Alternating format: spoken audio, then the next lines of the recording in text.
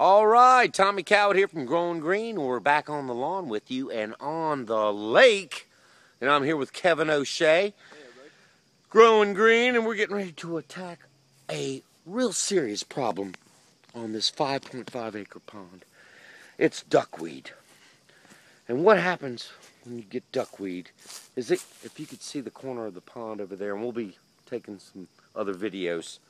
This duckweed is a floating weed and it's like a pellet and it uh, has a few roots to it and it'll come in and normally it's a when it comes into a pond it's an indication that there's a nutrient overload here. There's a lot of nutrients running in from these lawns and other areas up headwaters of this pond and there's a big nutrient overload. There's probably a lot of muck in this pond. There's a lot of organic matter in this pond. There's a lot of nutrients, and that's how this duckweed survives. It can live on that. So today, we're doing aquatic treatment with a herbicide. Uh, we're also going after some of the algae. So we're using Cutrine Plus. We're using a product called Clipper, and we're using Diquat. Diquat is uh, this product here. Um, Tribune. Um, it's a aquatic herbicide, much like the type of herbicide you use on your home lawn to kill broadleaf weeds. So that's what we're doing. We're going to try to avoid any damage to the environment here. We're using everything at label rate. So we'll get started. We'll show you what we're doing. Basically, we've got a small little electric motor, very environmentally sound, a little 15 gallon sprayer, and we've got our product mixed up. And uh, we're going to get on out here on the water and do some spraying. All right, we'll see you in a minute. All right, Captain O'Shea. Hey, everybody. You the man.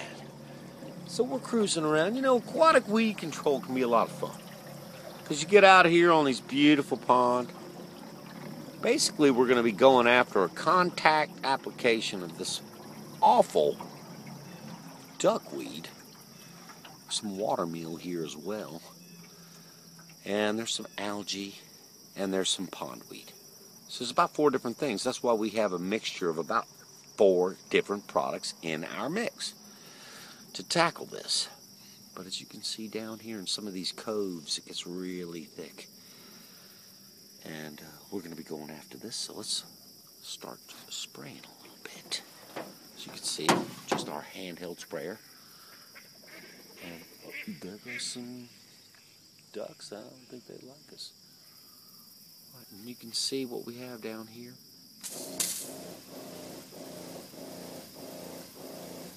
Basically, I'm just going to spray. There's a surfactant in this product, in our mix, that will help in this water. Now, with aquatic weed control, a lot of people are really concerned about fish kills and I don't blame them. No one wants to kill any wildlife, no one wants to damage any fish. This lake is not a concern to us. Typically, what happens when you lose. we've got Captain O'Shea, and he's just tugging us right along here. This is the duckweed that we're going after. See how thick it is down in here? Each one of these is a little pellet, some people call it. Little pads, little weeds and we are just treating this with a broadleaf herbicide. There's also a uh, algicide in here, going after filamentous algae. And uh, there's another aquatic herbicide in here that's very good on pond weeds. See?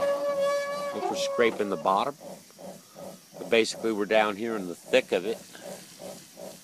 This is a serious mat of the duckweed, as you can see. Across this way. So there's a surfactant in this mixture too. It's surreal almost, the way this material just forms this dense mat. This looks like we're in a, another part of the world.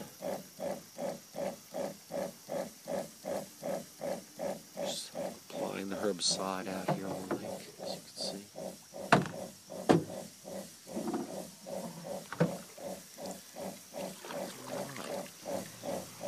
All right, folks, as you can see here, this water meal is caught, just forming a dense, dense mat on the surface of the pond.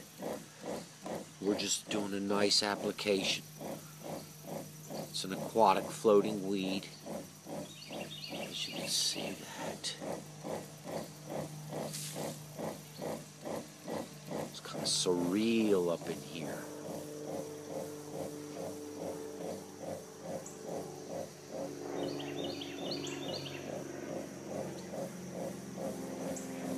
It's like a different planet here.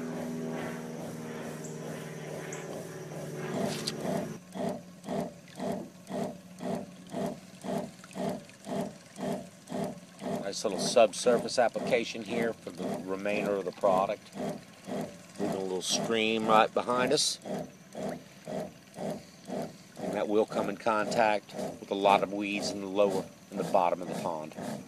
Growing on this on the bottom of the pond. So that's a nice little run. All right. All right, so folks, what we're really going after here are three different problems on this pond.